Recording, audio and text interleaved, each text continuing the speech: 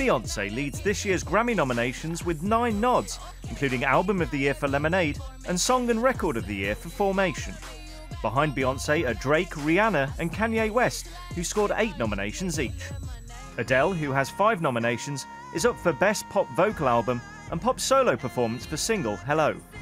Finally, David Bowie, who died from cancer in January, was recognised for his final album Blackstar, with nominations including Best Rock Performance, Rock Song, and Alternative Music Album. The Grammys will take place in Los Angeles on February the 12th. Matt Kemp, Associated Press.